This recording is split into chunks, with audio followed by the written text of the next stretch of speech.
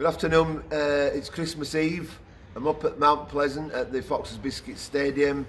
Just a quick uh, thank you uh, and uh, hopefully a welcome to 2021 rugby coming back. Um, we are not doing a draw this week. We're pushing it back to the New Year's Eve as the final draw of 2020. And then next week I will announce how much uh, the sales have been of the draw since we started back in, was it March? Uh, which has been a great, great, great help to keep this club going and, and make us strong for next year. So a big thank you to everybody who's, who's uh, contributed to the draw this year. Um, I haven't done a video for a couple of weeks, so a big thank you to Mike and Jean Booker from the Supporters Club for their support the other week. Uh, thank you to Stuart and uh, Gwyneth Merton for their support and for doing the video last week.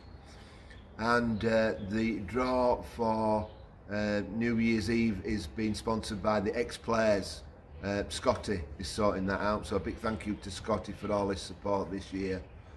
Um, New Year's Eve, we're hoping is is the end of 2020, and we're back playing rugby at the end of February. Um, and uh, we'll continue with this draw because we've got sponsors into February now. Uh, last week, um, Andy Robinson won the draw. So uh, good luck whoever wins the draw this week. Um, £250 is the New Year's Eve amount. We're, we're having a, a, bumper, bumper final draw of the year.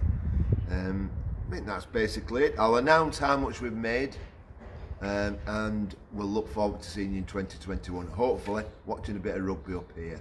So thank you and Merry Christmas to everybody.